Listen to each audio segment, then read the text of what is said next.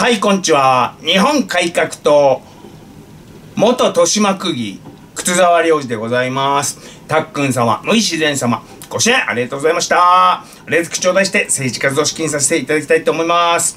諸事情により現在、物品のご支援を遠慮させていただいております。えー、お手紙、現金書き留め、お米券なんかはこちらまで、えー、よろしくお願いします。えー、そういうのは大歓迎であります。171-0005、えー、東京都豊島区南大塚2-11-103階靴沢領地までよろしくお願いいたします。えー、支部長募集、えー、区議、市議ならあ当選、えー、を狙える知名度です。日本改革党メール党員さんも大募集であります。よろしくお願いします。どちらも動画の説明欄、もっと見るをクリックしていただくと、ババッと開きますんで、よろしくお願いします。政府、9月に安倍総理の国葬開催と発表。ネットの反応です。自分も東京に行ってお見送りしたい。なんかあの会場は武道館かなーなんて言ってるみたいですね、政府が。えー、海外から弔問問い合わせが殺到している状況だし、VIP の弔問が多すぎるから妥当。海外じゃめちゃくちゃリスペクトされてたから、やらないと国民も、諸外国の首脳も収まらないよ。一部のアレな人たちが発狂しちゃうもう発狂してるよ。8月国会終了後かな。葬儀の費用は、安倍の葬式はうちが出すって息巻いてた朝日に全額出してもらおう。そんな、そういえば、そんなこと言ってたな、朝日な。えー、国葬するしないは、時の内閣の判断だそうであります。で、その内閣は選挙で選ばれているわけなんで、まあ内閣の判断イコール国民の意思が反映イコール民意とも呼べなくもないな。えー、民意で何でもかんでも決めるのは民主主義国家として当たり前。えー、晩期口論に決すべしに沿っているので、これでいいのだ。これでいいのだ。早速ね、前川貧困調査員や日韓現代が騒いでおります。あとあの日本共産党 C 活動は明確に反対すると声明発表しておりました。普段多様性ガーッと騒いでる連中がですね、安倍総理を国葬で見送りたい人の権利と自由は認めないっていうラブスターですね。えー、こいつらあの全然リベラルでも何でもね、寛容でも何でもないですからね。えー、全然違うから、リベラル名乗ってんのかな？えー、泥棒が潔白って名乗るようにね。リベラルってあの自分の価値観以外を認めない傲慢って意味じゃないんだぜ。えー、そういう意味じゃないんだぜ。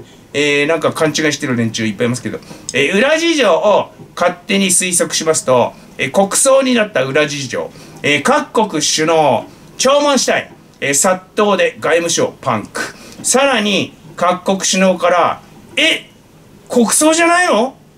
疑問殺到、えー、外務省、各国からこういう声が上がっております。内閣に報告、えー、岸田総理、なるほど。ということで、えー、国葬、えー、こういう感じだったんじゃないのかなって思っております。朝日新聞、安倍の葬式はうちが出す。そういえばそんなこと言ってたな、思い出しただけで、怒りと憎しみが湧いちゃいますね。えー、ヘイトスピーチすんな。だってあの、ヘイトしてんだから、しゃあないんじゃないの。ヘイトって憎ですね。憎まれてんだから、しゃあないんじゃないの。朝日新聞を憎いんだから、私は。しゃあないよね、これね。えー、それを表現すんだっつって、口閉じさしたって、象は消えないよ。でんでん。えー、朝日新聞の葬式は我々日本人が出しましょうね。日本一族が出しましょうね。えー、安倍総理を国葬で見送る決定について、えー、自民国葬がふさわしい。えー、立憲泉。国葬はその性質から厳粛に行うものであり安倍元首相のご冥福を祈りつつ静かに見守りたい。まああの賛成なんだか反対なんだか分かんないですけど見守るっていうですね。えー、みんみんたまたま。国の内外から広く哀悼の意が寄せられており国葬とすることについては理解できると、えー、やや賛成。空気読めんじゃん。泉も玉木も、えー、公明党ノーコメント、えー、お前らもう野党に行けよもう。ね、えー、共産党は明確に反対。公明党がノーコメント。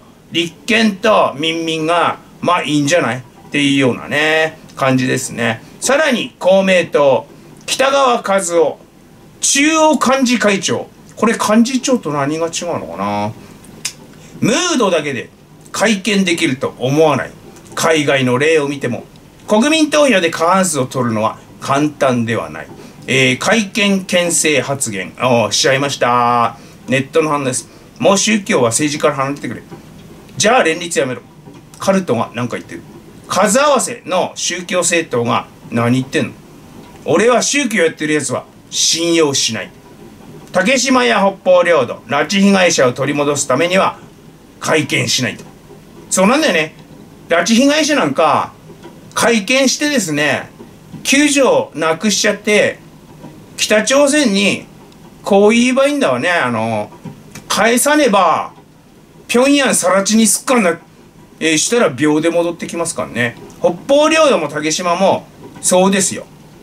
会見して武力使うよって言ったら秒で戻ってくるから。公明の比例票減ったから焦ってんだろうな。そうかと統一をなんとか日本から駆逐しなきゃというような意見、えー、試験ですけど北川幹事長人相悪すぎ問題というのが発生しておりまして人相悪いなこの人、えー、人はいいのかもしれないですけれども人相悪すぎ問題。何がムードだバーえー、会見にムードもクソもっかって話なんですけど人民軍のために会見したくないっていっそはっきり言ったろどだ公明党は、えー、創価学会は人民軍に日本侵略してもらいたい外観誘致主義者ですからね。そのため長年国交大臣のポストを独占してせっせせっせと国内に艦隊字とハングル表記を増やしてます。これあのいずれ国内を住人にする人民軍のために分かりやすいように利便図ってんのね。えー、これの先兵が国交省観光庁国際観光課、えー、ここの課長の顔見たいよ、本当に。外観誘致主義者なんで、当然9条改正にも大反対。えー、これいざ会見ってなって、えー、議員の3分の2必要だなんて時に裏切るよ、公明は。必ず裏切って思いますよ。えー、この点においてはね、立憲共産党、何も変わんないですよ。外観誘致主義者っていう点については、えー、これあのー、会見の議員の採決で、公明が裏切っから、そん時が連立の切るチャンスでしょうね。こんなに考え合わないんじゃ、しゃあないですね、っつってね。えー、外観誘致主義政党は、共産立憲公明社民令和などなど、えー、それ以外外観誘致主義でないのは自民維新民民と私はあの見てんですけどまあ自民にも中には売国のやつもいるし維新にも民民にも売国のやつは言いますし、えー、民民はねあの玉木以外の態度がよくわかんにいから玉木以外は外観誘致主義なのかもしれないな。えー、救いは共産も公明も支持者減少得票右肩下がりが止まらないことであります。外観誘致主義者どもの力が弱まるのが止まらない、えー、共産党7月15日でなんと決闘100周年。進む弱体化。なんて記事を時事通信に書かれてしまいました。党員数ピークが32年前の1990年50万人。2020年は27万人。赤旗部数。1980年ピーク。355万部。2020年100万部。えー、100万部赤どうかわかんないですね今ね。えー、ネットの話。おじいさんおばあさんの政治サークル。いまだにそんなに党員いるの。シールズって何だったの？共産主義はナウなヤングにバカウケですよ。リアルパワー。不破の大豪邸の説明、まだ？街頭で共産党のビラ配ってるじいさんばあさん見ると物悲しくなる。核産部が寿命で減ってるの。草。この前凱旋見たけどじじばばしか聞いとらんかった。変に妥協せず非現実路線を続けた方が長持ちしそう。狭いコミュニティがあり晴天があって教祖がいて教えは絶対でお布施がある。カルトとの違いがわからない、えー、カルトですよ。共産党は。共産主義は宗教ですよ。特にあの九条に関しては九条教っていうあの別なあのー、信者がいるぐらいでね、えー、最も党員が多かったのは32年前1990年ですか。メイン層の団塊世代が40歳そこそこってとこでしょうね。その頃一番共産党が猛威を振るっていた、えー、そういえば豊島区があの、消滅危惧自治体に指定されちったのもそのぐらいだったんじゃないか、えー、なんとですね豊島区大塚にですねチュチェ思想を国際研究所みたいな本部がありましてで共産党が異常に強かった時代がある、えー、めちゃくちゃ共産党議員多かった豊島区議会、えー、時代がある。今は4人まで減っちゃいましたけれどもこの時ねあのー、金使いすぎてでたらめな予算やってまあ口調も赤かったんでしょうねであの、区の財政が危機に瀕した絶滅消滅絶滅じゃないや消滅危険自治体って指定されちゃった。えー、未だに高野区長その時のことを、えー、言いますもん。あの時はお金なくて、えー、私が区長になった時、区の、あの、金庫に4000万しか入ってなくても、あの、頭クラクラしちゃったみたいな話、えー、したことあります。えー、今は20万人切ってそうですね。これが党員推移みたいなんですけれども、90年から94年にかけて、50万人から35万人に激減してんのはなんでだろうなえそれまでずっと右肩上がりだった。1990年まで右肩上がりだったのに、えガブーンって減ってんですよね。あのー、94年にかけて。えー、これあの、オウム事件が関係あっかもしれないですね。宗教やばいよねっていう認識が世間に広まって、宗教といえば共産党だよね。みたいなのが広まって党員が目が覚めた党員が多かったまだ40ぐらいで、えー、やり直しが効いたとも考えられんなえー、共産党の参院選比例票推移2016年602万票2019年448万票2020年22年362万票6年で約半減2025年は3年後の参院選は180万票ぐらい1、2議席ってとこでしょうかね。えー、自然源だけでは説明がつかない減少率であります。えー、共産主義はナウな、ナウな、ヤングにバカウケなはずなのにおかしいですね。えー、おかしいですね。えー、私、シールズでもって高齢者9割ぐらい、えー、公安、いえ、95%です。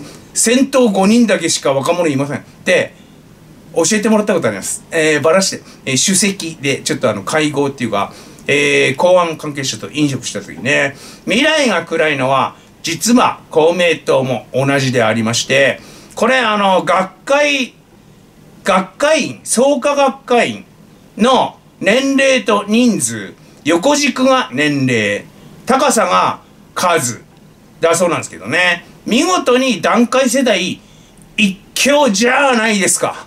ああ、これ一番尖ったところが団塊世代です。見事に団塊世代一強。で、若者ほど減っていく。えー、2018年のデータなんですけど、これ、397万人総数って書いてありますけど、今どれほど減ったんだろうな。年間1.3%自然減として、4年で5%減るから、え現在はあの380万人ぐらいなってるんじゃないでしょうか。380万人ぐらい切ってるぐらいになってるんじゃないですか。そんでも多いなまだまだな。えー、会見を妨害する公明党もっとちっちゃくなってもらいたいんで、えー、急激に創価学会が弱る方法ないかなえー、都知事がね、あの、ガチンコだったら、政治に口出す創価学会生意気だから、宗教法人の資格ねえからっつって、法人資格取り消せんだけどね。えー、まあ、あの、都知事、東京都知事は、そういう権限持ってますけどね。えー、というわけで、メール党員さん、支部長さん、支部長さんは特に、賞賛あります。市会議員、区議会議員、なれます。頑張れば。頑張んないとなれません。えー、ですので、えー、大募集であります。よろしくお願いします。デトックスジャパン。